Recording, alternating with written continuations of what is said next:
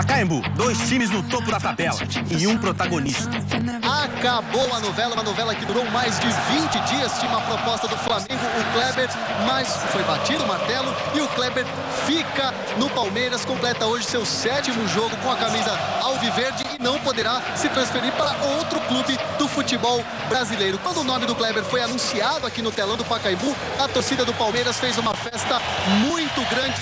Kleber, um jogador polêmico, um bom jogador. O Kleber pisou na bola, a parte da diretoria também pisou na bola, ele entra com o capitão, ou seja, tá com moral, cabe a ele. Kleber dá a volta por cima aí com um bom futebol. O bom futebol do Kleber não apareceu. Deixa a bola no Kleber, chegou na área. O torcedor do Palmeiras vai à loucura, pede pênalti. A polêmica, sim. Numa disputa, Dinei caiu em cima de Júnior César.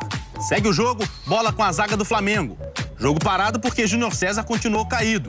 Depois do atendimento, bola ao chão, o árbitro Leandro Voaren larga a bola e vem o lance mais quente da partida. Tá valendo tudo. Ó o Kleber, pé direito. E todo mundo vai pra cima do Kleber, hein? No fair play, todo mundo vai pra cima do Kleber. Não houve ali o fair play. O David Braz vai pra cima do Kleber. A confusão é generalizada. É, na repetição, a sensação que eu tive é que a bola, o Vaden solta a bola e o A bola, Kleber... a famosa bola ao chão. né? Exatamente. O Kleber duas vezes parece que fala assim, joga, chuta, enfim, ele, ele, ele sugere ao atleta do Flamengo que saia jogando. Como ninguém toca na bola, acho que o Kleber falou assim, vocês querem fazer cera? Ele pega a bola e sai pro jogo.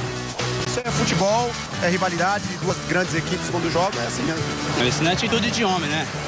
A gente tá esperando o lance, se fosse o nosso, nosso lance, com certeza a gente ia jogar a bola pra fora sem, sem pensar.